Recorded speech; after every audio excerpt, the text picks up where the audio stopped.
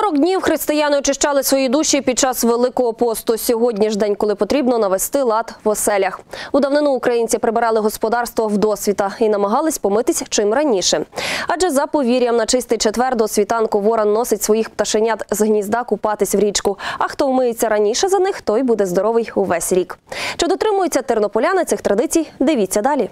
Останній четвер перед Великоднем християни називають чистим. У цей день наші предки прибирали свої господарства, щоб очистити землю від морозу, зими, смерти і всякої нечисти. Тернополяни цих традицій дотримуються й сьогодні, щоправда, з відбитком сучасності. Однією з тих, хто до Великодня наводить лад у власній оселі, є і родина кореспондента ІНТБ Юлі Медвідь. Традиційно для кожного із нас чистий четвер починається з того, що коли ми прокидаємося, то е, душ ранковий, чи ванна, чи якісь водні процедури. Правда, ми не дотримуємося класичних традицій, бо треба вмиватися вранішньою росою. В поле ми не виходимо, але вдома купаємося, а ввечері всі разом прибираємо.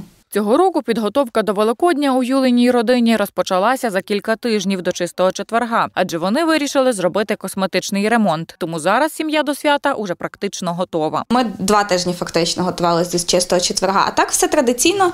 Е, Генеральне прибирання, участь беруть всі, хто живе зараз вдома. Чимало тернополян до Великодня наводить лад не тільки у власних квартирах, але й у місцях загального користування. Допомагають їм у цьому і комунальники. Роблять ремонт у під'їздах та фарбують дитячі майданчики. Одним словом, у нашому місті традиції люблять, і Воскресіння Господнє тернополяни зустрічають у чистоті.